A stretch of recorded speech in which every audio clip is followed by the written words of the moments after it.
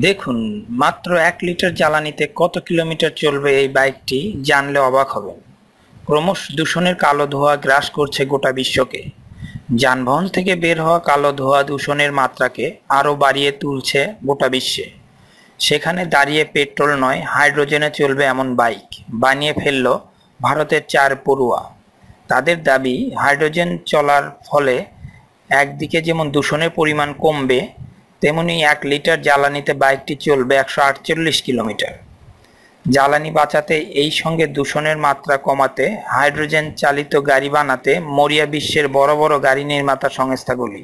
এমনকি নেদারল্যান্ডে তো দুই হাজার বিশ সালের পর হাইড্রোজেন ছাড়া অন্য সমস্ত জ্বালানি চালিত গাড়ি নিষিদ্ধ করার ভাবনা চলছে।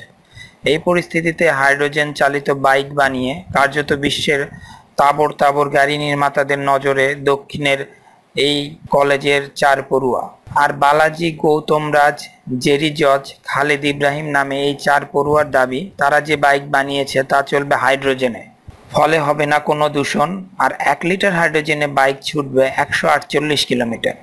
শুধু তারাই নন, এই বিষয়ে দীর্ঘদিন ধরে গবেষণা চালিয়ে যাওয়া তাদেরই শিক্ষকের দাবি, এই দেশে যেখানে পেট্রোলের মতো জ্বালানি অনেক কম, সেখানে অবশ্যই হাইড্রোজেনকে বিকল্প জ্বালানি হিসেবে ভাবা উচিত। কারণ, হাইড্রোজেন খুব সস্তা। মাত্র ত্রিশ টাকায় মিলতে পারে এক লিটার হাইড্রোজেন। আর হাইড্রোজেন জ্বালানি তৈরি হয় জলীয় বাষ্প। ফলে পরিবেশ দূষণের কোনো সম্ভাবনাই থাকে না। শুধু তাই নয়, অন্যদিকে পড়ুয়াদের আরও দাবি, যে কোনো ইঞ্জিনকে চালানো যেতে পারে হাইড্রোজেনে। আর তাতে ইঞ্জিনের আয়ু কমার বদলে বরং বাড়ে। আর একটা বাইকে হাইড্রোজেন কিট বসাতে দরকার মাত্র সাত হাজার টাকা।